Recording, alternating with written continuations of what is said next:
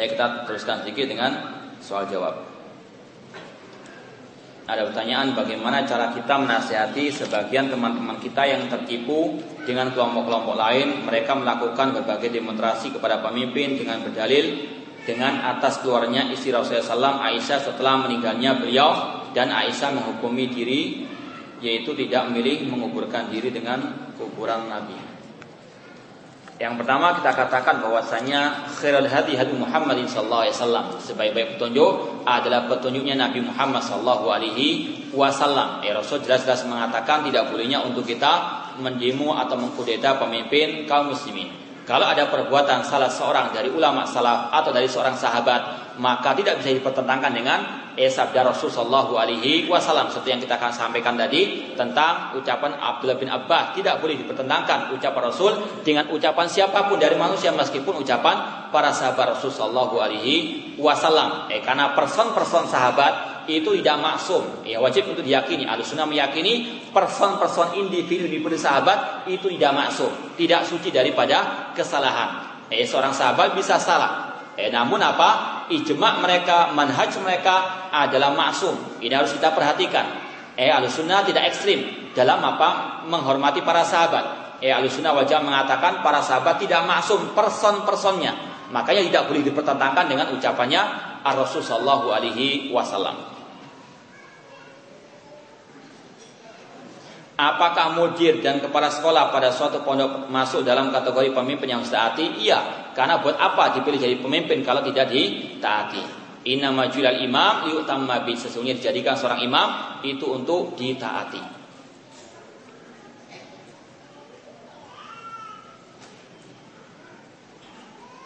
Apakah ada ustadz dari salaf yang pernah menasihati pemimpin? Banyak sekali. Namun ya mereka menasihati pemimpin tersebut dengan cara yang sir dengan rahasia tidak dipamerkan di hadapan umum tidak disebarkan.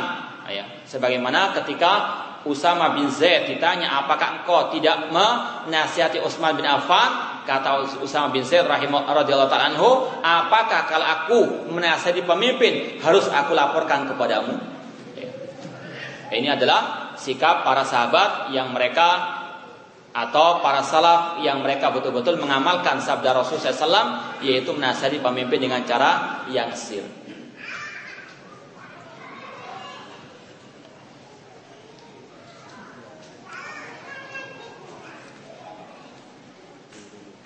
Pada zaman apakah berakhirnya khilafah dalam Islam semenjak zaman Rasulullah? Ya akhir khilafah nanti pada zamannya ya Isa alaihissalam yang nantinya akan memerangi peperangan dengan orang-orang al Yahud ya itu berakhirnya Taifah Mansurah dan kekhalifahan dan ya kepemimpinan kaum muslimin. Dengan adanya ya angin yang Allah tiupkan ke dalam hati setiap manusia yang beriman kemudian akan meninggal dunia pada saat itulah telah berakhirnya kekhalifahan kaum muslimin dan kaum muslimin pun akan meninggal dunia semuanya dan akan tinggal orang-orang kafir yang akan mendapati hari kiamat. Apakah boleh kita mengatakan kafir kepada orang yang telah keluar dari agama Islam? Kalau memang orang itu mengikrarkan saya masuk Kristen, saya masuk Buddha atau Hindu, maka boleh kita mengatakan orang itu orang kafir.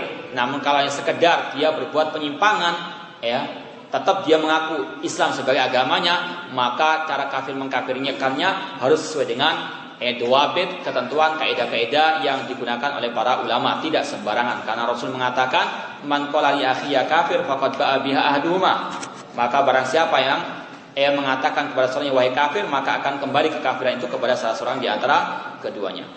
Apa arti khurafat secara bahasa dan istilah? Khurafat artinya cerita-cerita yang tidak ada dasarnya Ya, seperti cerita Wali Songo bagaimana kali Jogo, Sunan Kali Jogo bersemedi sampai lumutan ya nggak sholat berjamaah di masjid ya. Ini cerita-cerita khurafat yang tidak ada apa? Tidak ada landasannya tidak ada dasarnya. Dan itu mengarah kepada kesyirikan kepada Allah Subhanahu wa taala. Ini namanya khurafat ya. demikian pula cerita-cerita yang tidak ada dasarnya bahkan menuju kepada kesyirikan kepada Allah ini namanya khurafat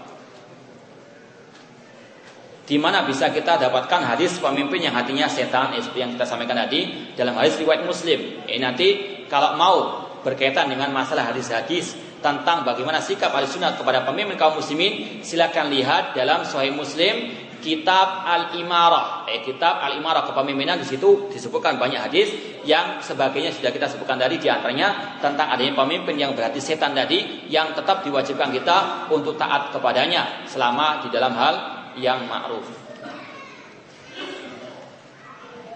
Di mana letak bid'ahnya dalam perayaan Maulid Nabi Muhammad SAW? pengadaan kajian di masjid atau mengundang keluarga dan sahabat untuk makan-makan. Ya.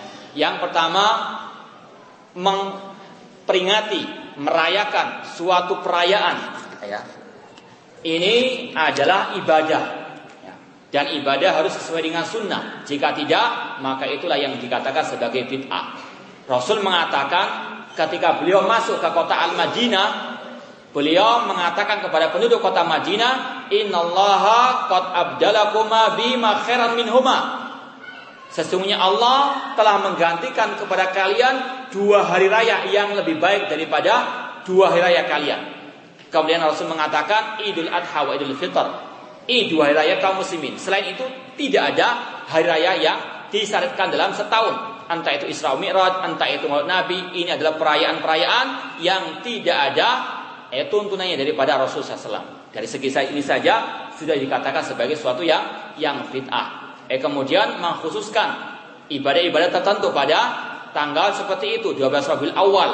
Eh, ini merupakan suatu hal yang dikatakan sebagai bid'ah apalagi menyenandungkan selawat-selawat yang bid'ah Buddha atau selawat nari atau yang lainnya maka ini bid'ah di atas kebid'ahan bahkan bid'ah sekaligus syirik kepada Allah Subhanahu wa taala.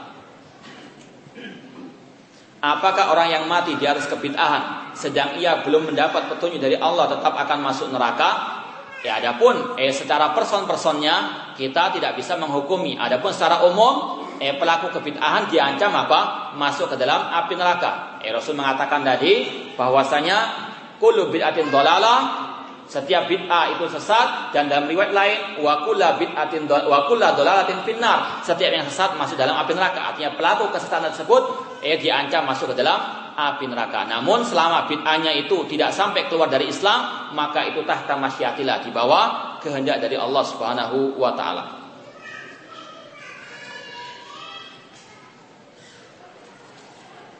Ya, saya rasa cukup sekian karena waktunya sudah ramalan. Dan terima kasih perhatiannya. Mohon maaf kalau ada hal-hal yang kurang berkenan. Wa akhu da'wana alamin. Wassalamualaikum warahmatullahi wabarakatuh.